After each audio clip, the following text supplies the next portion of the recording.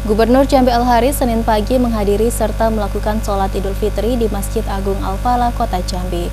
Usai melaksanakan sholat id, Al-Haris mengajak masyarakat untuk tidak terjebak dalam euforia Idul Fitri, serta tetap mematuhi prokes dan vaksinasi terus ditingkatkan.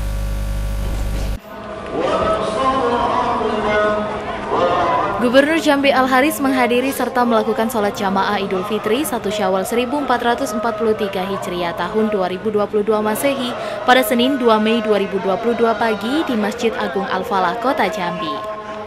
Tampak hadir pula Wakil Gubernur Jambi, Ketua DPRD Provinsi Jambi, Ketua TPPKK, serta unsur Forkopimda dan para kepala OPD ASN di lingkup Pemprov Jambi.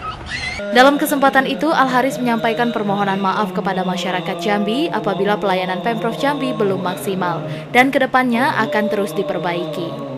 Selain itu, Al-Haris juga mengatakan bahwa satu bulan full sebagai umat muslim telah menjalankan ibadah puasa dan banyak pelajaran yang didapatkan, di antaranya belajar sabar, disiplin, serta berbagi. Dirinya berharap untuk seterusnya masyarakat di Provinsi Jambi tetap melakukan hal itu agar suasana di Provinsi Jambi tetap kondusif. Al-Haris pun mengungkapkan rasa syukurnya di Idul Fitri kali ini dan mengajak masyarakat Jambi untuk bersama-sama menjaga ketertiban dan keamanan serta harmonisasi di Provinsi Jambi. Serta tidak terjebak dalam euforia Idul Fitri dan meminta semua yang terkait prokes untuk tetap dipatuhi dan juga meningkatkan vaksinasi.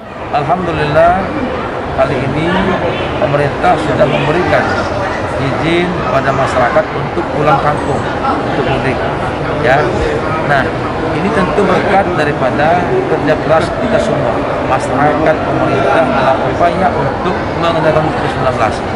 Karena kondisi COVID di Jambi sudah mulai landai, sudah mulai menurun, ya maka inilah hasil akhirnya Alhamdulillah pemerintah memberikan kita untuk boleh pulang kampung untuk mudik ke kampung halaman masing-masing.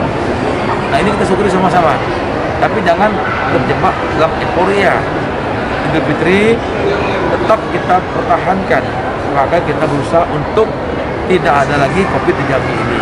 Artinya segala sesuatu yang terkait dengan prokes mohon juga di eh, pada warga untuk dijalankan. Termasuk juga vaksinnya juga kita harap juga terus ditingkatkan.